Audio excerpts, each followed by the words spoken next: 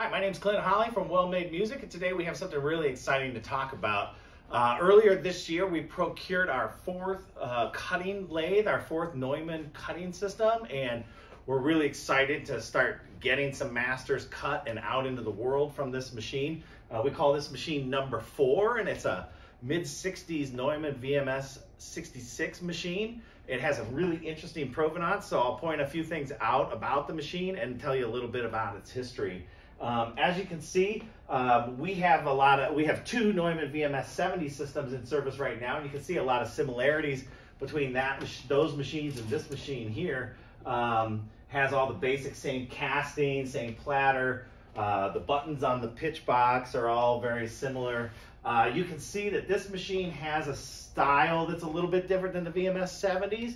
In the 70s, they kind of squared off this platform this pedestal uh, made it a little bit more uh, industrial, modern looking. Uh, this still kind of has some Art Deco influence to it with these beautiful body panels and the curves on it.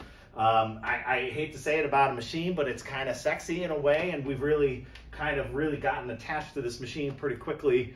Um, it performs really well, and it sounds uh, amazing. It, it's hooked up to a uh, a VG74B cutting rack, which was the last iteration of Neumann's cutting racks in the late 1970s and the early 80s. This was the rack that they used on VMS 80 uh, cutting lathes. So uh, a great amp that's been uh, recently recapped and restored uh, right before we got it.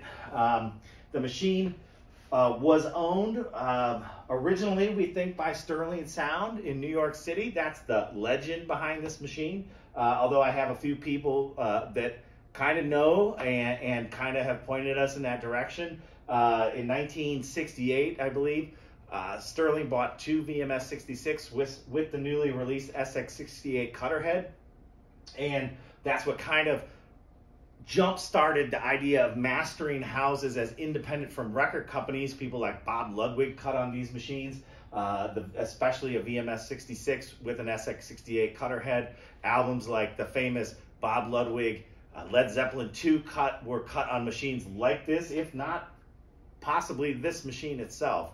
Um, some folks in New York City um, who acquired this lathe, my mentor Al Grundy had this in his shop uh, about 20 years ago, and it was sold to a, a, gentleman in Virginia, in a place called Mineral, Virginia, and he had it for for quite a while, and then it went to a cutting house in Asheville, North Carolina, called American Vinyl Company, and they started to do a ground up restoration on the machine and they got about 90% of the way done before he put it up for sale and we bought it.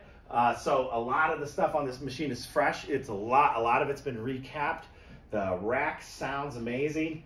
Uh, when we got it it had just a few things that needed to be done. You can see the feet on the bottom that we've put on there uh, to raise it up a little bit and, and keep it stable. There were no feet on it when we got it the plexiglass on the, uh, the, pitch meter here was gone when we got it.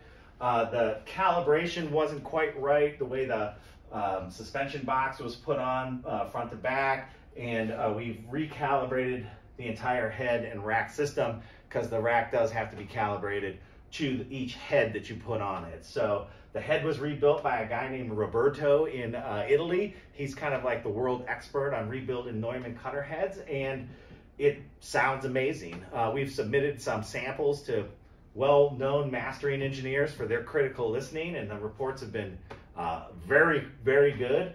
And this machine is just something that we're excited to add to the stable here at Well Made Music. A question that I did get recently was, why do you own so many lathes? And there's several reasons for that. Um, the lathes uh, that we have currently, they work hard and they currently have uh, over a decade of, of use on them. And so it's almost time for them to be freshened up a little bit, some new bearings, some new, uh, some new parts and stuff like that. So we're gonna systematically get these lathes. Um, the AM32 that we bought from Cleveland last year is almost complete, and we should see that hopefully here at Well Made Music by the end of the year. And that'll allow us to pull our VMS 70s out of service and do the work to keep them world-class machines.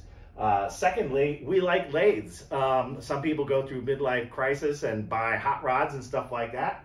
Personally, I love these machines. I love the style. I love the industrial brilliance of them, and I love the craft of disc cutting. So adding a machine like this to the Well Made Music stable makes a whole lot of sense.